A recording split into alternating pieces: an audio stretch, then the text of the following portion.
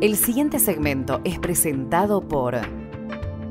Instituto de Promoción de la Carne Vacuna Argentina.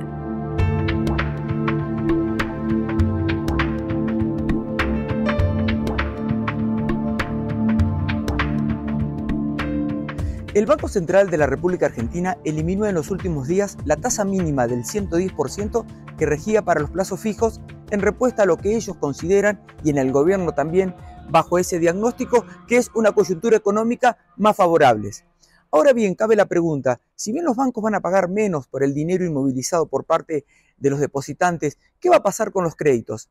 La última referencia que tenemos fue lo que sucedió en Expoagro. Ahí el Banco Nación Argentina emitió más de 5.000 solicitudes de productores y de contratistas interesados en comprar maquinaria agrícola. Bajo estas perspectivas, colocó casi 900 mil millones de pesos y también lo hizo en moneda extranjera por un total de 450 millones de dólares, lo que, según la entidad, fue un récord para lo que es la exposición agropecuaria que se realiza en marzo en los últimos seis años. Esta toma de créditos o estas solicitudes, porque ahora viene la evaluación justamente de la capacidad crediticia de los solicitantes fueron tanto para maquinaria agrícola como para incorporar otro tipo de bienes de capital, con tasas que oscilaron entre el 68 y el 80%. En dólares la tasa fue menor, indudablemente, entre un 1,5 y un 2%, dependiendo del tamaño de la empresa agropecuaria.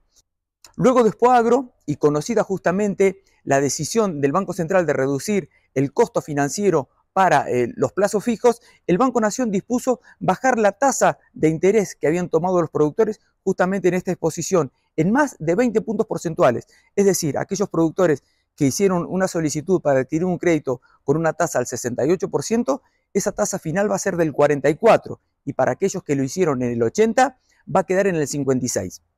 El crédito para todo lo que es el mercado de la maquinaria agrícola, y esto lo saben los empresarios, los fabricantes y los concesionarios, es fundamental para que traccione justamente el mercado. Si bien este año se espera una mayor cosecha de granos, el financiamiento va a tener que ser clave y las señales que puedan emitir tanto los bancos públicos como los privados en cuanto al costo del dinero al cual el productor se va a financiar va a ser clave para que el mercado de la maquinaria agrícola se dinamice.